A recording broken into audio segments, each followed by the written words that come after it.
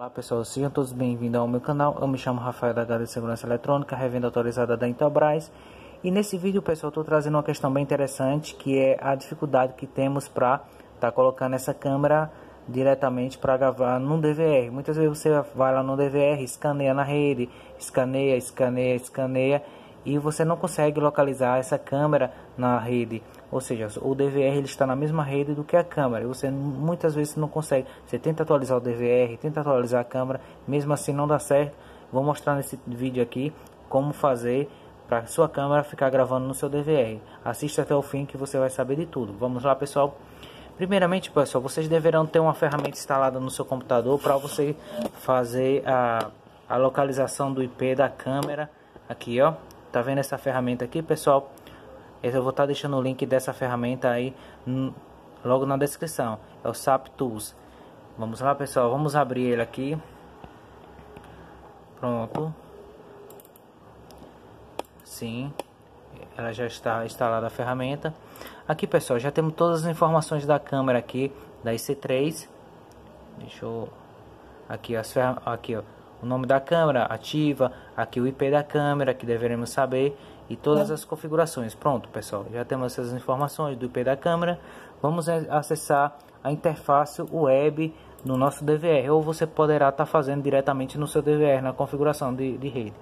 Vamos lá, pessoal, na configuração do DVR, na interface web do, do DVR.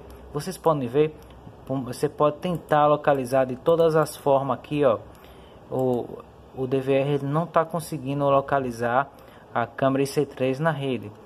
Eu já fiz aqui uma, uma, configuração. O que você deverá fazer, pessoal?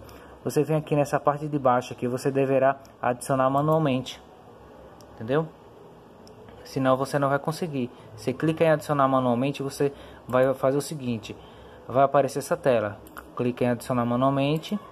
Vai aparecer essa tela para você preencher as configurações você vai colocar a porta que você deseja que a câmera seja gravada no seu DVR. O protocolo você deverá, é, ele vai estar assim de fábrica. Você deverá colocar esse protocolo aqui, ó, pessoal, um VIF. Aqui você vai colocar o IP da sua câmera que você viu ali no aplicativo. Vamos ver novamente. Aqui, ó, o IP da câmera. Pronto. Aqui você vai deixar essa porta 5554.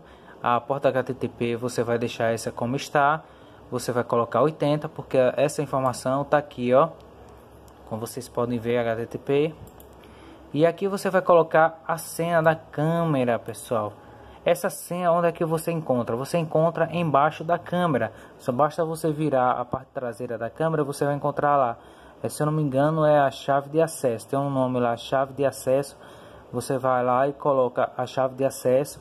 Mais uma coisa tem a chave de acesso debaixo da câmera. Você deverá colocar em maiúsculo. Se tiver um C em caixa alta, você coloca em caixa Aqui está dizendo, a cápsula que está ativado. Sim, eu sei que está. Então, pessoal, você deverá colocar a letra no formato que está debaixo da câmera. Aqui está dizendo o dispositivo remoto, você deixa um. E aqui o modo de, de transferência de dados, eu sempre coloco em tempo real. Vamos clicar em salvar. Pronto, salvado com sucesso. E vocês podem ver que os status da câmera já vai estar um Vzinho aqui, significando que deu tudo certo. Caso sua configuração dê errado, vai ficar um símbolo vermelho aqui. Entendeu, pessoal? Mais uma vez, ó, a porta 80, que é padrão da câmera, ó, o canal, o protocolo da câmera, entendeu? Ficou perfeito, pessoal. Agora vamos voltar aqui ao DVR para ver a exibição da câmera. Pronto, aqui vamos ver aqui. Ela está no canal número 10. Aqui, ela abriu aqui, ó. Aqui, pessoal, tá vendo aqui, ó? Pronto, a câmera IC3, ela ali do lado, ó. Aqui, ó. Você pode ver que na tela ela já está funcionando perfeitamente, pessoal.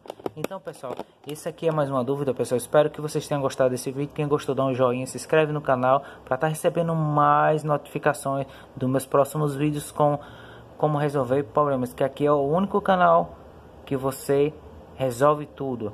Agora, para você saber de tudo, você basta você se inscrever no canal e ativar o sininho das notificações para estar tá recebendo a informação dos meus próximos vídeos. Eu vou estar tá deixando também, pessoal, um link aí embaixo para você entrar no meu grupo no WhatsApp, vou estar tá deixando também todas as minhas redes sociais aí logo abaixo, pessoal. Muito bom, pessoal, e até mais. É, falou!